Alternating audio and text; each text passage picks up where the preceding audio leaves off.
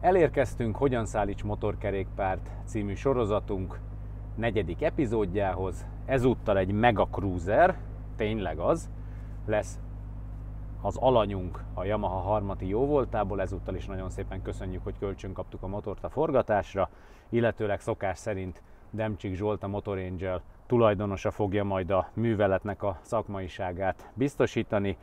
Úgyhogy fogjunk neki, nézzük meg, hogy egy ilyen egyébként borzasztóan csinos és általában eléggé drága, komoly méretű vassal kapcsolatban milyen fontos tudnivalók vannak. Sziasztok! Nézzük a choppereket, mert most ezek következnek.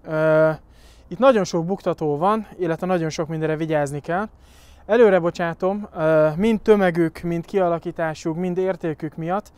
Ez az, amivel ha csak nem vagy igazán gyakorlott, meg se próbálkozzál se utánfutóra fölrakni, se dobozosba, se sehogy. Ehhez, ez a, tényleg az a kategóriahoz érdemes szakembert hívni.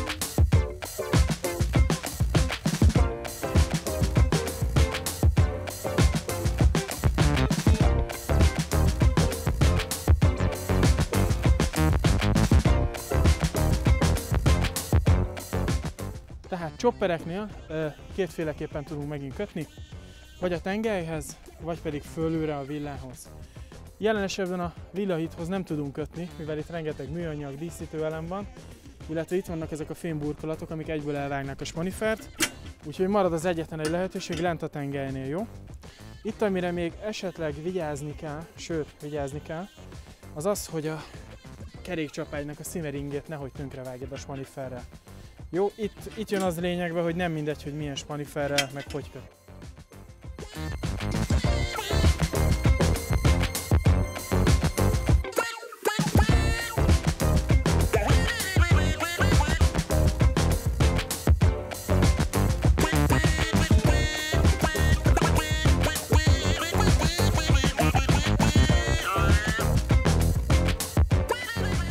Felraktuk a motort, most pedig szeretnék egy pár szót ejteni arról, hogy hol érdemes a spanifereket átfűzni, mire figyeljünk, hol szabad és hol nem szabad.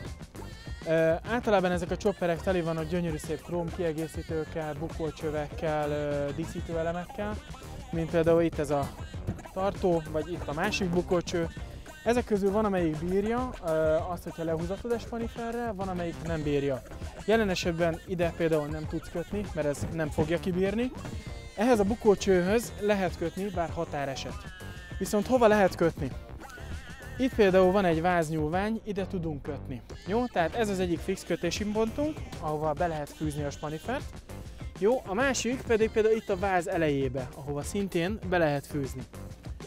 Ö, tipikus hiba, amivel találkozni szoktam, az ismételten az ülésen keresztül húzzuk, ez megint nem egy jó megoldás. Illetve amit még sűrűn szoktam látni kardános motoroknál, hogy a kardánon keresztül kötnek, ez sem túl szerencsés. Úgyhogy most szépen lekötjük, és majd fogjátok látni a végeredményt is, jó?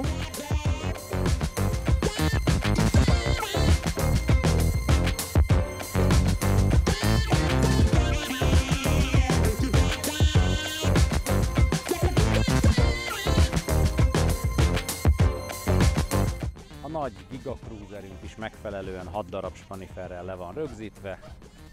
Hát, hogyha egy kicsit megmozgatom, akkor rángatózunk trélerrel együtt, tehát azt lehet látni, hogy hiába egy ilyen közel 4 mázsás monstrum úgy áll, mint a cövek, úgyhogy ez sem fog innen elmozdulni. Ezzel ezt a négy részből álló kis minisorozatunkat lezártuk, megtanultatok többféle motort, többféle utánfutón, illetőleg szállítóeszközön lekötni, láttátok melyiknek mik az előnyei, hátrányai, és esetleg miért érdemes megfelelő szakembert hívnotok, hogy a szállítást elvégeztessétek, de az sem egy utolsó szempont, hogyha már hívtok egy szakembert, mindezeket az információkat akkor is jó, hogyha tudjátok, és figyeljetek oda, hogy ő ténylegesen jól is csinálja, amit csinál. Ez egy nagyon fontos dolog. Úgyhogy nagyon szépen szeretnénk megköszönni így zárszóként a 2-es, 3-as, 4-es epizódhoz a Yamaha Harmati által nyújtott segítséget, illetőleg a Motor Angel-től Demcsik Zsoltnak mind a négy epizódnál vállalt aktív közreműködését. Reméljük, hogy sok hasznos információval tudtunk szolgálni. Amennyiben tetszett, kérjük nyomj egy lájkot, iratkozz fel csatornánkra, és nézd meg egyéb videóinkat is.